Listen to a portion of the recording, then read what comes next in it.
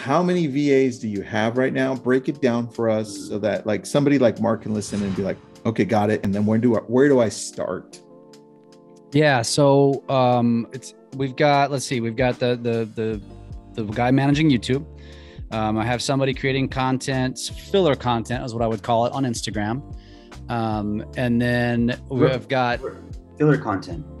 Yeah, so I, I, like to create most of my own content, um, but I realize that there I'm gonna have lulls where I'm not always perfectly consistent. I might skip a couple of days or whatever. Not not on my stories, but mainly on my feed.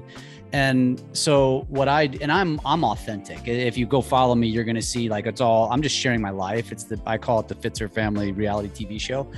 uh, but uh, really honestly the va who helped me on on on instagram keeps me in check with sharing consistent business content or or content around my brand. So, and I've really shifted from real estate and mortgage to more social and video because that really is something that I'm really focused on, and it helps actually grow my mortgage business. So, uh, that's what she does. She really helps me create that content and stay very consistent. So she's posting about uh, four to five times a week on my feed just to make sure I stay consistent, and then I, everything else is just all me being authentic. So that's that's two. Uh, we've got I've got somebody who uh, does writing for me. So he actually helps me with script writing.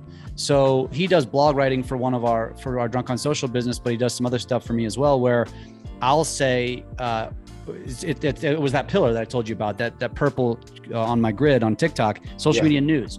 And so we have this. We have a couple websites we, we just follow and he'll send me a list. He'll just go to that website every day, take the the five most recent articles and send them to me and say which one do you want me to write you a script for.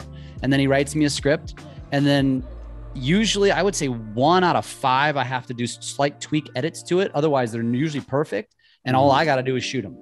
And so he's really helping me with script writing and, and making my, my video creation a lot easier. Then I create the video and I ship it off to an editor.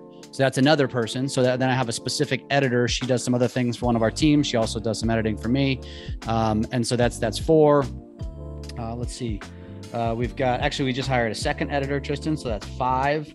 Uh, so that's just a secondary editor, graphic creator, uh, and then we've got a VA who actually manages, kind of like an operational manager, who manages everything and just kind of keeps the wheels keeps the wheels on for us.